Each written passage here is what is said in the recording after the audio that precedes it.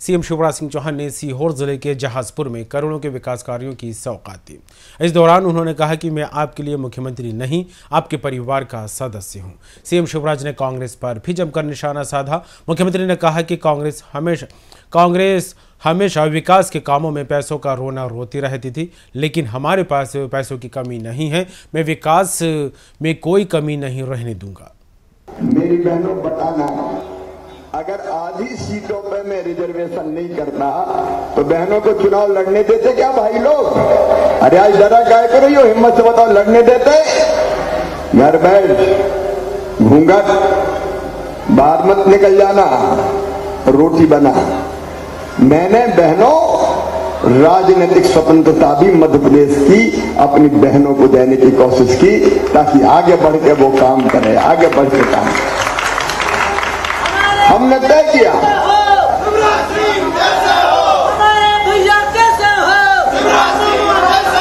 हमने तय किया कि पुलिस में केवल पुरुष नहीं रहेंगे, बेटियों की भर्ती भी पुलिस में करूँगा। बेटियों के लिए स्थान मैंने सुनिश्चित कर दिए कि आज 30 परसेंट पे बेटियों की भर्ती होगी। कई काम में सैकड़ों काम, लेकिन ये लाडली बहना योजना तो बिल्कुल अद्भुत है। बताओ मेरी बहनों, कैसी योजना है? लाडली बहना योजना?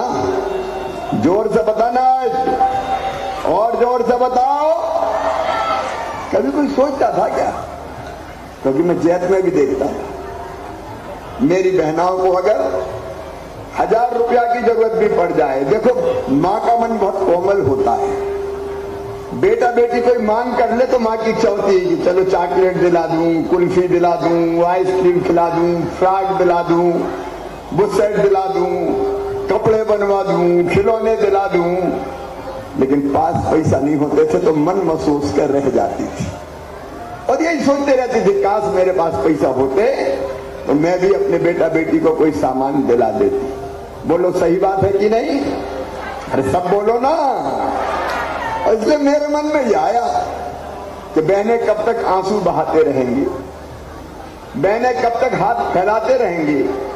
हज़ार रुपया भी मांगना पड़ते थे, पाँच सौ रुपया भी मांगना पड़ते थे। मेरे दिल ने कहा, शिवराज, तू भैया है रे, और तेरे रहते बहने हाथ फैलाए, ये अच्छा नहीं है।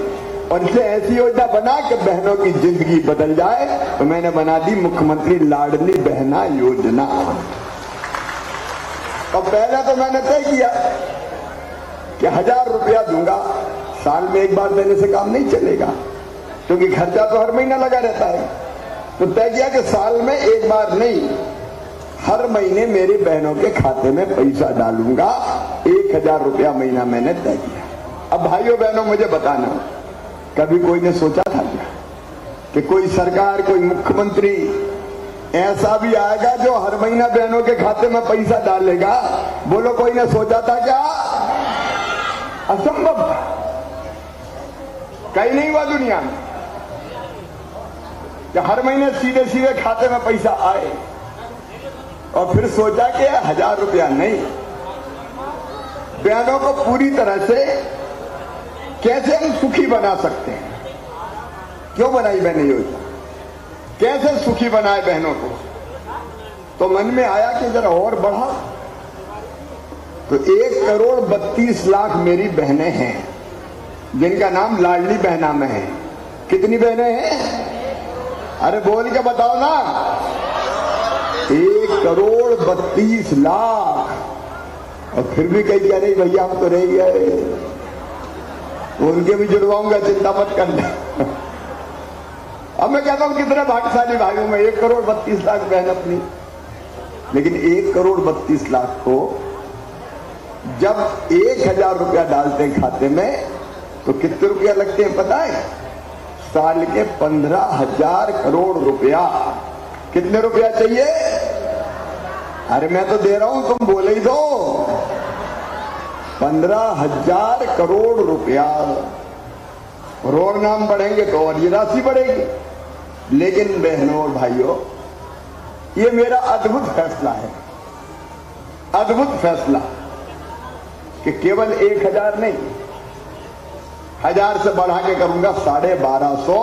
तो आजकल साढ़े बारह सौ डालना शुरू कर दिए मैंने।